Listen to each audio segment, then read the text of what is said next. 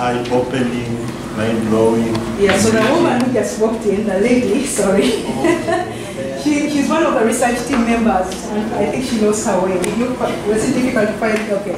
But good that you came. We acknowledge you. Thank you for the hard work.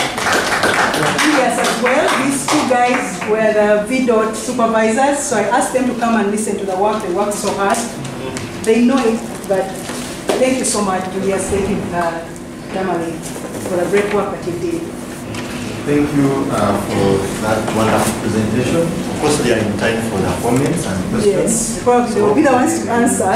Give us the- So directly ask the questions to them. So after that meeting, uh, on the right that we receive some comments and questions. Uh, we will take them in sets, probably uh, five questions or comments per set. Beginning now. Thank you, Dr. Juliet. Yes, Uh, Mine is about uh, the pill burden. So, when somebody said about 10 tablets, did they send 10 videos or, or they sent one because we swallow at a different rate? So there's a possibility I may put in two and throw away the rest. So, how did you get away Okay, so one video. Yeah, do, you, do you want all the I questions? five. Okay, fine. I, I hope I won't forget. Now, right. Okay. Any other? Uh, Yeah, no? Damali and Julius, you can ask. Mine was about if the app was able to save the video Uh-huh. or to assign a unique ID to a video so that the patient does not keep sending the same video as if it is unique, yet he has their, their file of videos stored somewhere. Thank you. Um, there was a. My, my question was also along the lines that does the app uh, identify and date stamp the video so that the same video is not used all the time? Oh, Yes, thank you very much. I, I, I wanted to to comment about the integrity of the video. What were the minimum contents in the video the patients required to send in order to know that actually the patient took the drugs? The other one is who paid? The long run, I want to say who paid. and uh, we move like this. Did you have any adverse treatment effects? And how did you handle them? Reported? Yeah. Is that what you're asking? Okay. We have two and then we will. uh, Okay, yeah, mine is, uh, we know that uh, bias is the biggest play to research, so I just want to know how you were able, how did you go about overcoming selection bias in this lab study? And then lastly, before we Um, come- Now, it's just uh, what there was a point in time when you had to ask people to have comparison experiences with DOT and VDOT. So was it part of your criteria to include people who had only, who had ever had DOT so that they can have an experience to compare with or? Because if it's my first time, of course I'll tell you this is like the best thing ever. Yet I don't have something to compare. Okay, so can we take a Yeah, short we'll come back for another. Okay. Okay, so uh, I'll start with the first question. So in case I lose uh, some of the question, please forgive me, and you can repeat if you don't mind. Uh, So about the number of videos, we had one video per day, per, per dose for the day. So we trained our patients on how to record. So we actually developed what we call the pill mat. Was that the pill mat? Yeah. Yeah, Julius helped me to, to develop that. And so we had a pill mat, and the patient will get their pills for the day. So if they are in intensive phase, how many pills would, that, would those be for intensive? Do you remember how many pills? Are they four? Okay, so get the pills, place them here on the pill mat, place your glass of water on the pill mat, say, start your app, hold it, hold the video, and start taking one by one. So we knew the patient who is in intensive phase has four pills to take, so they'll put one pill, two pill, where they have the video running, and then swallow. Okay, they'll, they'll take one pill, swallow, and second pill, swallow. Some people know how to put all of them, but we ask them to specifically place place the pills so that we can see them on the tongue, right? And then they'll, they'll send a video after all the pills are recorded. So it was one video per person, per dose. Does that answer your question? Uh, Yes. Okay. Yes. Because my example, you look at LDI, Mhm. is that they will take around 15 tablets. Yes, yeah. So somebody puts 15 tablets on the pill, and some Right. put it there. Yeah, so in, tablets. yeah, so in this particular pilot, we focused on drug susceptible TB. Yeah, because we're trying to learn, can this even work? Can the patients even take this up, use it to send us information about their adherence? That was the basic premise. So with the complexity of the MDR dosing and of course with injections, now I know they are going to change to all oral, right? Bruce, is that, is that correct? Yeah, so that would be some advantage that we can maybe use VDOT. But before there was injections and then pills, very hard to capture that. So maybe then you shift the information, you shift the, um, the efforts from the, the drug susceptible, they send videos and then focus on the ones who need uh, the supervision, which is the MDR. So again, that's, that's all you can do. And then the app, uh, would, wouldn't people recycle the videos? That's what you're asking. So the app is set in such a way that it's, it's got a timestamp. The video comes with a, a timestamp, and it assigns a unique identifier for every video that comes. So a person records a video, it disappears. The moment they hit submit, it disappears. They can't even go back to their phone to see it. It hangs in the cloud if they don't have internet. If it does have internet, it hits the system, and that's where it is. It will sit there at the same time that it has been recorded, and the, uh, the time it has been recorded and the time it has been sent, even capturing the amount of time the person spent recording the video.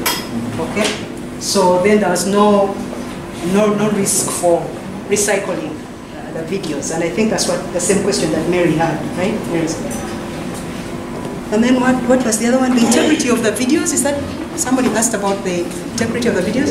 Can you please repeat that? the minimum, how, when would you say that this video is well given, like you had a mat that Yeah, uh, you say that's what I think you Right. But my question was about when do I say that the video has Uh-huh. been sent? Right. The person has actually shown the drugs. Yeah, so uh, we, we had a step-by-step process that we trained the patients. If you're in intensive phase, you have, uh, if you're in continuation, you have two pills, is that correct? Put your pills out, open them, put them on the mat, get your water. It's not like you're studying the video and then you're running to get your cup of water and then you're, oh, where are my pills? No. Set everything on the mat. The mat was kind of an organizer, an organizing tool. Very simple with colors and with English and Luganda. Kati nyabo sebo take a, a makerenda go ano, and then so people could follow. It was just a little mat. I wish I, I, I could have shown it up here. I didn't. And then, so once they do that, then they start taking one pill at a time. And once they're done, of course, we have the data on who is on continuation and who is on intensive. We can easily validate that just through our dashboard. That somebody, uh, we saw them taking three, two pills, they're in, in continuation phase. And then the other, yes, Julius wanted to add something. Yes. Another thing, we were advising them to talk in the video so that we can prove that the medicine they put in the mouth has been swallowed Yes. at the end. Yeah. Because it, there was a possibility of, pretending you put the Of course, we don't mouth. to put them behind the cheek and all that, but yeah, so at least that was one way. Because we tell them to report, report whether they had any side effects, and then report when they are done. They say, kati musawo maze eddagala," you know? So that talking, I mean, the pill could be stuck somewhere, but somebody could intentionally do that if they really didn't want to spit it out. So you can't rule out those kind of things, but I would imagine if somebody has taken the time to record, they are doing extra work to put it in the mouth and then spit it out only after the video is done. So adverse effects. So adverse effects, as we kind of have answered that, we, we asked patients to report. So in our MAT, in our instruction manual, we say, okay, open the, uh, the video, the app, report if you have any side effect. And then we listed the commonest with pictures. We did, we developed some um, pictorial rash, joint pains, and we put pictures. I really, really wish we should have shown this here, but we didn't. So we put it uh, as easy as possible. The common side effects of TB, we didn't capture all of them. But then at least they see joints, they will say nyingo, uh, or susu, or okubabukirira, you know. So we put those things there so that it could trigger them to report at the beginning. And so they would say that in the video, and my, my colleagues would pick that information and put it in the system as they watch the video. So it was, it was easy to capture that. Uh, selection bias. So selection bias, of course, is always a question an epidemiologist wants to answer. We set out not to test hypotheses, but to generate hypotheses. So feasibility is about generating hypotheses. Does this work? We were not testing this being more effective. Does, we didn't have even power to do any of the statistical testing. So our goal was not to test any hypothesis, but to first ensure does this work. Yes, we definitely had some selection bias because we're in Lubaga, which is sort of a paying hospital, but for TB it's free. So you can argue that people who come to Lubaga, even though it's free, are more likely to be more, a little bit high SES. Yeah? Yeah, definitely then that's who is selected at that point. But we, we didn't do much to try and address because that's the setting where we're going to do, that's where most of our studies are, so we started there. But definitely that's why in the future studies we want to randomize, we random, randomized control uh, trial to try and take care of all uh, the confounding and the biases that might arise through selection. But, but yeah, that's, that's a valid point. And then comparison of VDOT and dot, yes. So I told you that we got some people who had already started treatment. There were some uh, maybe second month or third month, because that is our, our criteria. Anyone who has been on treatment up to three months would qualify to be. So that's one category. Some of them had already experienced dot. But for the ones who hadn't experienced, we kind of gave them a preamble as we were training them and saying, look, this is what is done currently. You start treatment, the healthcare worker is supposed to watch you and supervise you, come to your home or meet you at your workplace. So of course it was more perceptions, maybe, because those who hadn't experienced it. And we yet to, we can tease apart and see who was already on treatment, those who were already experiencing the in-person DOT, and the ones who are new. We didn't have very many people who are just like really starting treatment at the beginning. Those are the ones who probably don't experience the in-person DOT. So they probably were just really perceiving from what we had explained to them, the in-person DOT looks like. Okay, so I think that's, that covers the first set of questions, and then um, if we have time, of course, Winters, you'll tell me when, when to stop talking. Set. I see Dr. Owens Yeah, uh, thank you so much for the wonderful presentation. Um, this uh, video actually promises to be a game changer in idealism medicine, and um, a number of researchers are trying to really improve um, this, you know, this innovation. Right. And I, I, probably just wanted to contribute a few things that probably might point towards scaling up.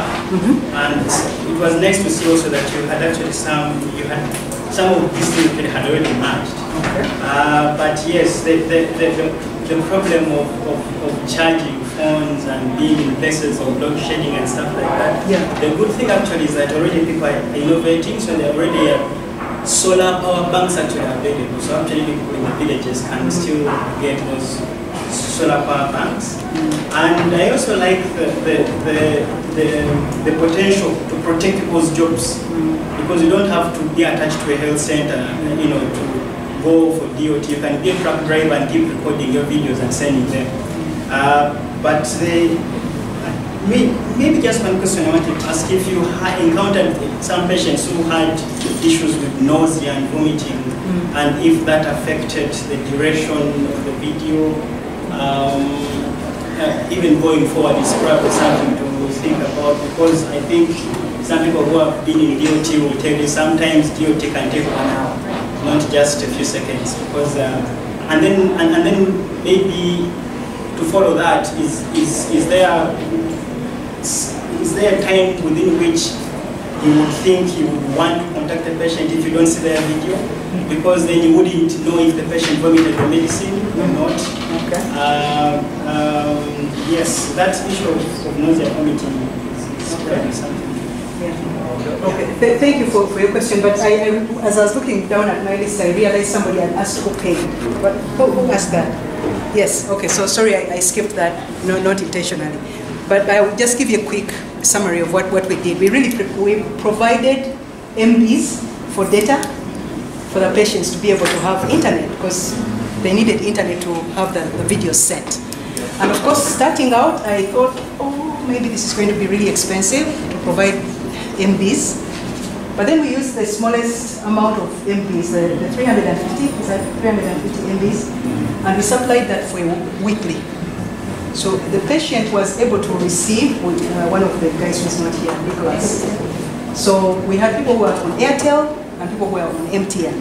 So the Airtel one, the bundle costs 3,500 and the MTN one costs 5,000. So slightly different, you know, more expensive and I think they give a bundle of 500 MBs.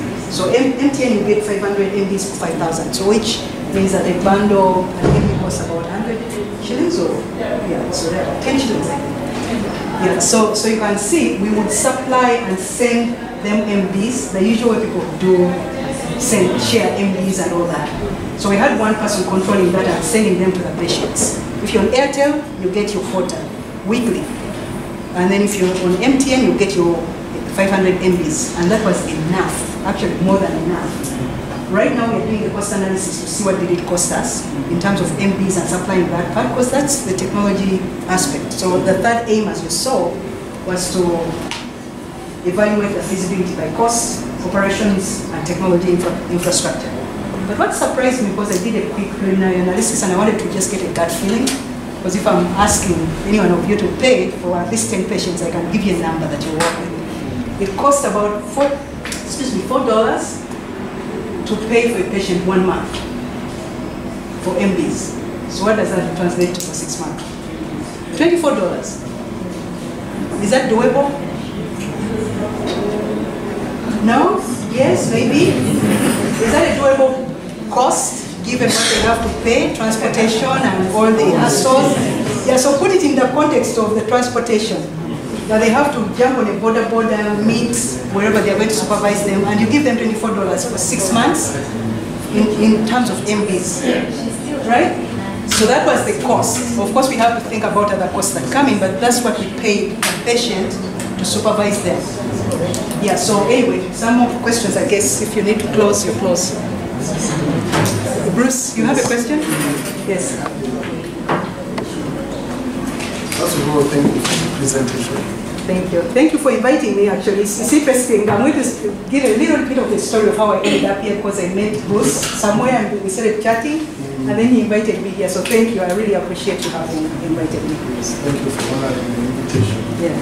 This is a very important pilot. I hope you allow us to use it as our own pilot when we are writing things because many times this data was missing.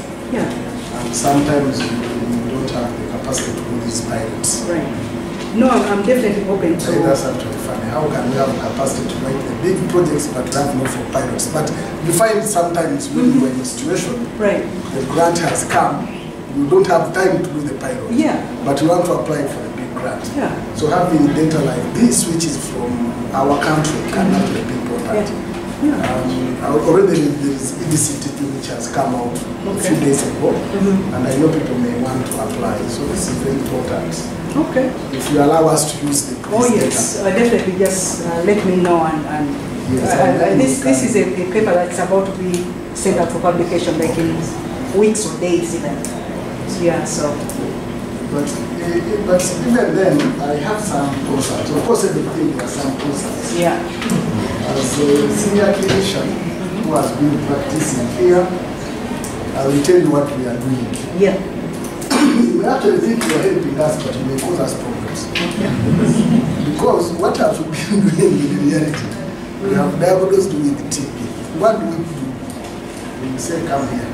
You have TB. These are your drugs. Where is your brother? Or do you have a brother at home here? Your drugs go home. Mm-hmm. Let's see you in two weeks, you get your drugs. Okay. Now, you come to help us, give us your computer. The other computer showed in the picture. Mm. Now we have to read these videos, we have to send MBs, we have to give these lessons. You may actually find that in the practical level, at clinical, clinic level, you may actually cause us more problems with this. However, of course, I'm trying to make a joke. No, okay, so you should laugh. I know.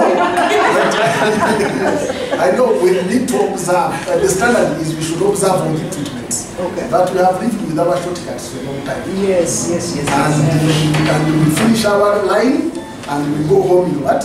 In peace. Okay. So when these things come, we, we need also to be oriented Okay. uh, on what is, what is happening. So we need to, to look into.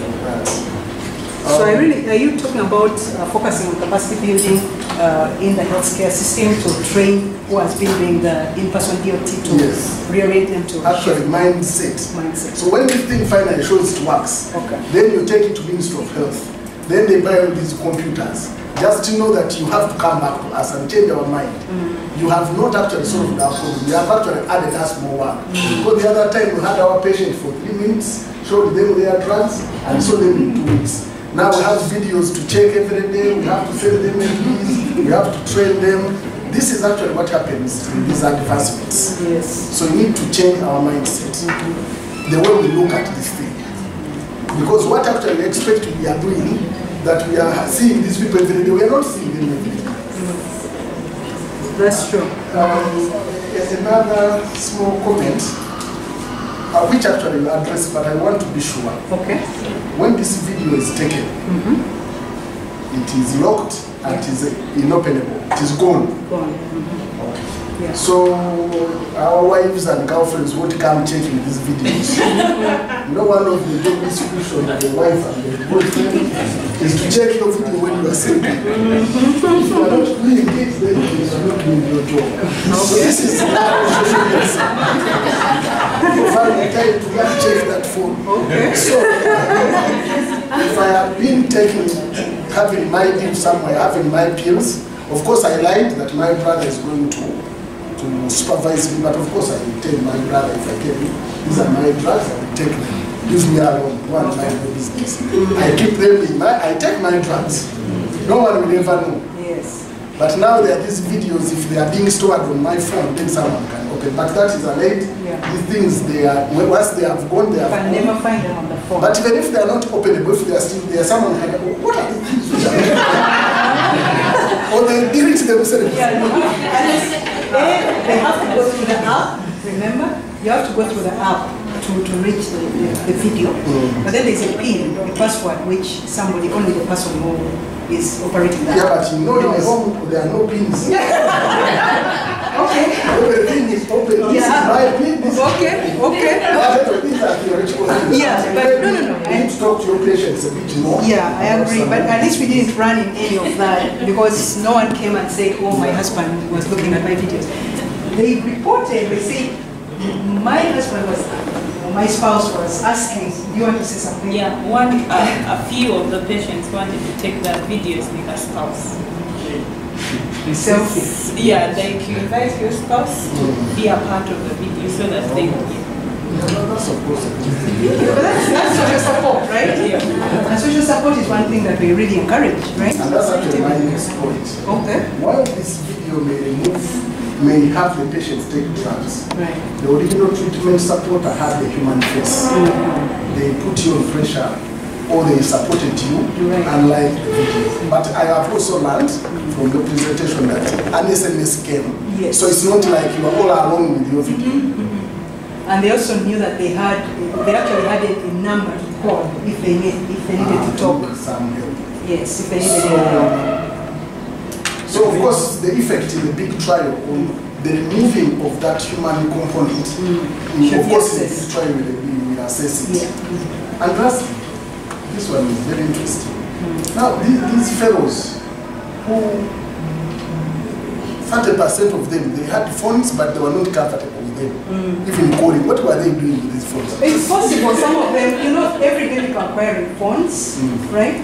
So some of them were just new acquirers. A They, new type of phone or yeah, so somebody might have just bought a phone, or bought a present, or just acquired a phone and they're just learning. So especially the older people, my daughter is teaching me, my daughter is still teaching me how to use this phone. I'm learning. So we had that from the older age group. They just got a present and they are teaching me how to manipulate or to navigate the phone. Not Yeah. some form of resentment. What's that? Was it not some form of resentment? For resentment from who to who?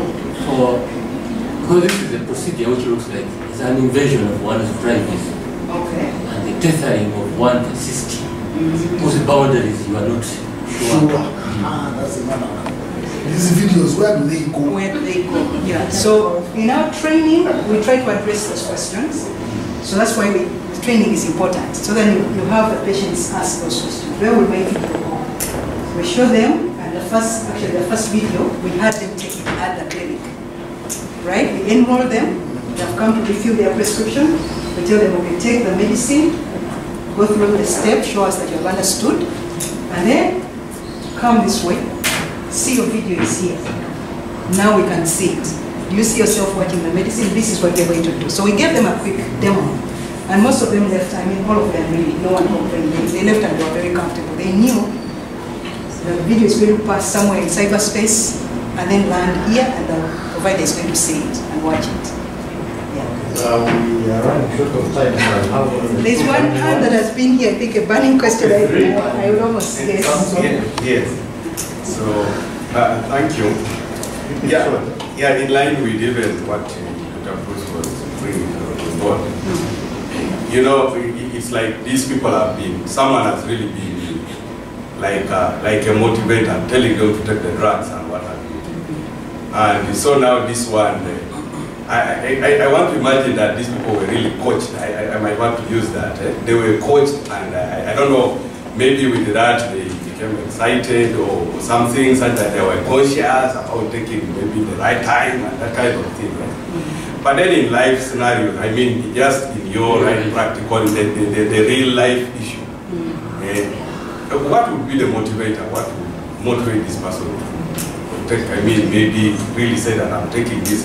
I'm thinking of a scenario where someone has gone for a party somewhere and then he, maybe, yes, I don't know, what, Yeah, so, yeah. Maybe, Oh, yeah, two more. um, Oh, yeah, so um, my question is really about, uh, I think the, the number, the proportion of uh, people who owned phones was really high. But uh, I imagine from the presentation you mentioned that you loaned some phones to them and it was actually over 50%. So I- I'm imagining the number is quite high that own phones, but many of them actually don't own smartphones. I'm looking at it broadly. If, For example, you we had to scale up the VDOTs. How would we deal with this population that do not own smartphones? Would it be like a lost opportunity? Or if we are to do, to loan phones to all of them, uh, what is the cost that will go into that? there was one, the last one. Yes. Now, uh, when I'm taking the pills, using the mat, you are uh, uh, forcing me to take four tablets, one at a time. Personally, when I'm taking Coartem, I prefer putting all the four in the mouth and swallow. So if you, the system tells me to take one at a time, are you not coercing me? Okay. I, I guess we just take these ones. Okay. Uh, maybe those one questions, we will have a tea break and ask all those questions. Okay, yeah. And I should have put my email on, yeah, we can share contacts if, if people need to follow up. Let me start with yours. So we were not forcing people to take pills a certain way. The way we trained the patients, we had a discussion, uh, finding out this information. What time do you normally take your medicines? Is it morning? Is it during the day? Is it at night? Okay, that helped us to set when we are going to send them reminders. Okay, so that was step one. Somebody says at nine, we set their reminder at eight. To come in an hour earlier. So you see, so we are letting the patients kind of decide when and where.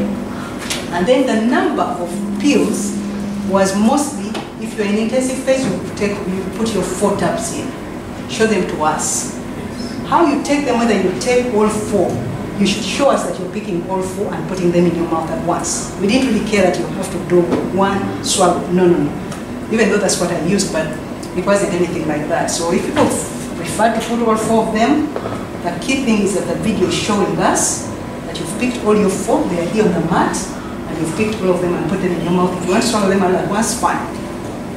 And then the other one was scalar. Okay, so scalar, that's why I pulled this back. That is going to be a problem of yesterday, for sure. People are going to acquire these smartphones. The, the emerging markets are producing uh, cheap smartphones, and before you know, they are going to cost like nothing. They are going to be cheap. Not 100% of the population will have, but I can tell you it's going to be a good proportion of patients even owning their own smartphones. So 70%, 96% reported they had a cell phone, 70% said they had a smartphone. But for quality assurance, we had a, a, a minimum standard to carry the app, to operate the app. So we had to look, does this smartphone that you own actually meet the standard to carry the app and operate the app? So that's why you saw now we dropped and had to provide even smartphones to people who actually had their own smartphones. Yes, the quality was not up to par to what we are expecting. And I'm not really worried about the scale-up issue in terms of phones. The program can decide to buy phones, but I really think that we'll come to a point when patients will actually have their own phones. And that would be like one of the least problems that we worry about providing phones for patients. That's my take. I don't know the people in the program tell me who, who are kind of in this setting. Robert, you, what's your take? I think you, you well explained it. There, within the program, we seem to, to be moving ourselves mm-hmm. At least in the, in the newer tools, mm-hmm. we actually have an option of measuring this. Mm-hmm. So, so I think as, as we look at the data that is taken about us about availability, there is also the measurement aspect. So over time, I think we shall catch up with. Yeah, Robert is a technical advisor national TB program, so he's uh, the person I would look to to answer this kind of question. So, and somebody asked about motivation, right? Yeah, what would be the motivation? I'm going to throw this question back to you. Would you be motivated to take video, to use video, videos to monitor your treatment? As. Yeah, of course I would be motivated, but you know. What, what was- would motivate you? Yes, I, I, I, I may be okay. That, like as I said, since I was coached, eh, Yes. and it may be, I, I was told that eh, this is really a study that we are whatever. Eh? But then now, like it's like when we are putting it across board, eh? what, what would it be? I mean, that, that would motivate. That's what, what, what I was saying. eh? Yeah. Eh, So- and then how they, I mean, like now what I was comparing was where we have been using someone trying really to ensure that this person takes the drugs. eh? Yeah. Maybe at the right time, okay, given that scenario. So that's what I was saying. Yeah, so the supporters actually need incentives, right? And one of the reasons that model has not worked is that it's not well supported, it's not sustainable. If you have how many, 47,000 TB patients that are reported each year, thereabouts, am I right? The numbers? Last year we had 57. 57. So yeah, the last report I saw 47. So how many nurses we have to do that? Or how many even video supporters in the community are able to do that? They need incentives. They need, you don't, I mean, they do pro bono work sometimes, but I can't see them doing this forever. Most times that model doesn't work. It works to some extent. Yes, they are motivated to go and supervise fellow community members, but at some point they are like, I also have other things to do. I have to make a living, and so for the patients, if we train them well and they understand why they need to finish their treatment, they take it, and then one of the things I think we told them was, look, we know you can take the treatment on your own. And, you know, for adults, people are actually taking treatment on their own, as Bruce was saying. You give them their 12, two months, you tell them come back. Some do it. But if the patient comes back with MDR, are you able to tell me objectively that they took their treatment? You don't have an objective measure. So you have to make a case for what is going to benefit the system, but it's also going to benefit you. Because if you show that you're taking your treatment, should you get any other problems, then we know where to start. So this person knows that you're really caring about their health, you want them to get well, and so all this information you're collecting is a feedback loop. It's feeding the system of information of what you're doing with your medicines, but then I also want to come back to you if you have side effects, then I'm going to help you, I'm going to support you. So for me, that's what I would say for, for the motivation. Just one last question in that direction. Did you say the person, after viewing the person has taken medicine, the? No, that remains in our system. It remains in the system, it doesn't stay on the patient's phone, because, you know, for people who do M and E, if they are doing monitoring, monitoring and evaluation, they want to see that as real objective evidence, they have deleted the video. So it's a record, it's a data point Sensitive, sensitive to the person that, for example, I may become an MP in future after having been sick and that can be used again. Okay, that's, those are privacy, those are, those are privacy. It's the same way somebody can get your records from, from TB One. Yeah, but at least those ones I can say same name, but video. The face, I, I, I get what you're saying, yeah, so maybe that will be the discussion for another day. But th- thank you so much, guys, I really enjoyed hearing from you and you've given me things to think about.